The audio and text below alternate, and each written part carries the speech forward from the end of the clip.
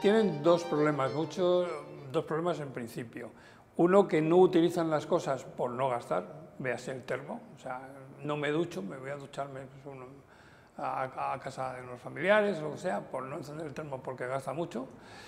Y otros, pues falta de calefacción. El tema de, cal eh, de calefacción, de la luz y sobre todo de poder pagar los recibos, que hay veces que no llegan. Un matrimonio que tenía dos niños pequeños y que tenía la casa ya no era por el tema, la tenía pues bueno, unas paredes sin pintar, un radiador que se habían encontrado en muy malas condiciones con un niño que tendría dos años. Quiere decir que eran todo dificultades y que podían incluso tener problemas con los críos. Era un, era un problema, era un riesgo para, para su salud.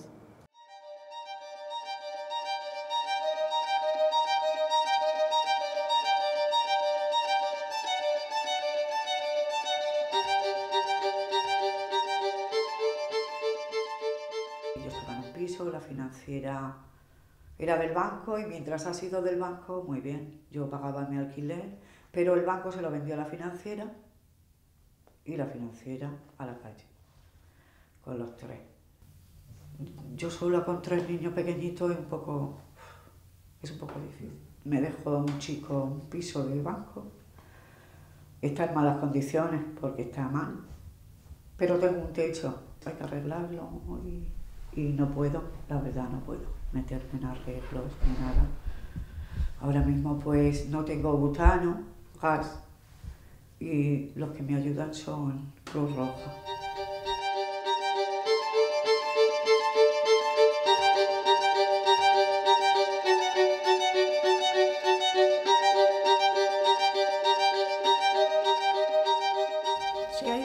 Que es que de verdad te desmoronas, de verdad no, no tienes ganas ni de vivir, de verdad.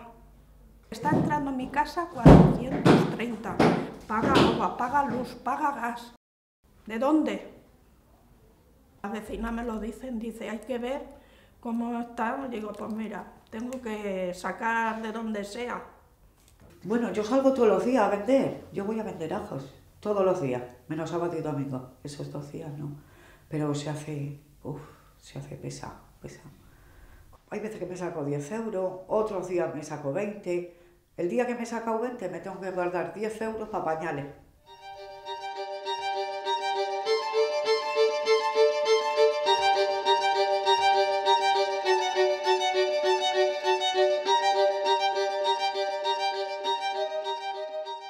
Bueno, yo vivo alquilada. Entre mi hija y yo trabajamos así, podemos pagar al menos del alquiler. El hijo también me ayuda para a veces para los gastos. Recibo ayuda de la Cruz Roja por alimentos. Y bueno, ahí luchando al menos pasamos el día. Ahora en invierno, como te digo, en el asunto de la calefacción, no me atrevo a prender la caldera porque se me dispara la factura. Entonces tenemos un calefactor que nos abrigamos al menos lo, la familia y cuando está el niño, sale del colegio, le damos calefacción porque es un niño de 10 años. Me estudia y que se enferman a veces los pulmones, pero claro, en la casa ves al niño, tanto uno también, una tos, pero nos tratamos de, como te digo, una medicina, nos abrigamos bien y cualquier visita que llegue se, se siente, las casas frías, se sienten, claro, pero al menos la entrada es un poco fría, pero el salón siempre tratamos de mantenerlo calientito.